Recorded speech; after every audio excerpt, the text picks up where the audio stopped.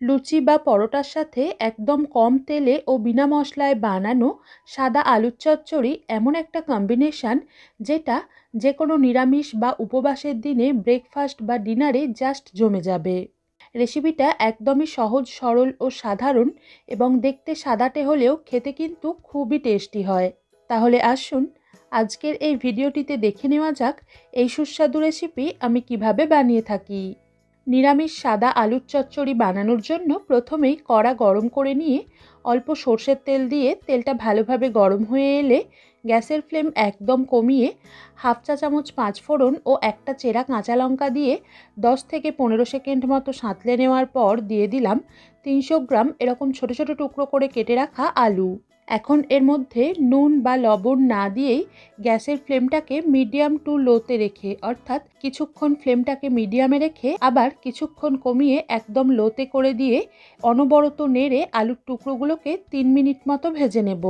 আলুর মধ্যে প্রথম পর্যায়ে নুন দিয়ে দিলে আলুগুলো ভালোভাবে ভাজা না হয়েই এর মধ্যে থেকে জল বেরিয়ে আসবে। তাই আমি একদম প্রথম পর্যায়ে নুন বা লবণটা দিচ্ছি না।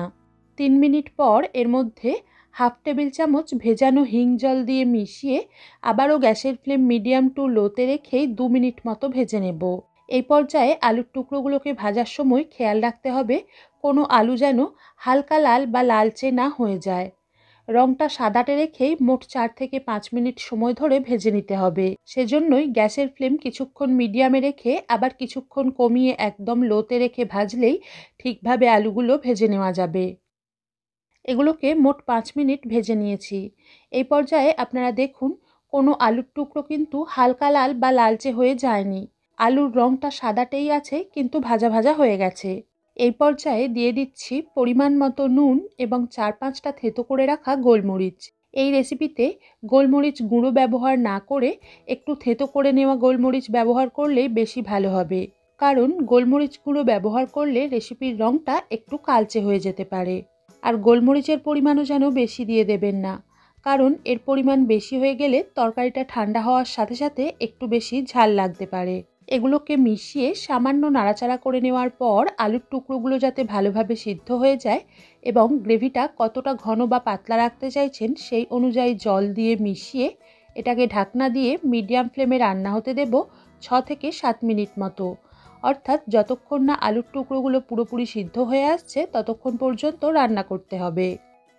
ছ মিনিট পর ঢাকনাটা খুলে একবার নেড়ে দিয়ে চেক করে নিলাম আলুর টুকরোগুলো ভালোভাবে সিদ্ধ হয়ে গেছে। এখন এর মধ্যে দিয়ে দিলাম একের চার চা চামচ চিনি। এতে রেসিপিটা মিষ্টি হবে না, কিন্তু স্বাদটা খুবই ভালো হবে। এছাড়াও লুচি বা পরোটার তরকারি সামান্য একটু মিষ্টি হলেও খেতে বেশি ভালো লাগে। চিনিটাকে মিশিয়ে দেওয়ার পর খুন্তির সাহায্যে এইভাবে কয়েকটা আলুর টুকরোকে একটু ভেঙে ভেঙে দেব। এর ফলে গ্রেভির টেক্সচার, ঘনত্ব ও স্বাদটা খুবই ভালো হবে। এবার এর মধ্যে অল্প ধনেপাতা কুচি ছড়িয়ে মিশিয়ে দেওয়ার পর গ্যাস বন্ধ করে এর স্বাদটাকে আরও বাড়ানোর জন্য দিয়ে দিচ্ছি হাফ টেবিল চামচ পাতিলেবুর রস। সবশেষে এর মধ্যে হাফ চা চামচ গাওয়া ঘি দিয়ে মিশিয়ে নেব। এই রেসিপিতে ঘি দেওয়াটা পুরোই অপশনাল চাইলে দিতে পারেন, আবার ঘি ছাড়াও এই রেসিপি বানাতে পারেন। এখন এটাকে ঢাকনা দিয়ে দু থেকে তিন মিনিট মতো রেস্টে রেখে একটা সার্ভিং প্লেট বা বাটিতে নামিয়ে নিলেই তৈরি হয়ে যাবে আমাদের আজকের রেসিপি দুর্দান্ত স্বাদের নিরামিষ সাদা আলুর চচ্চড়ি।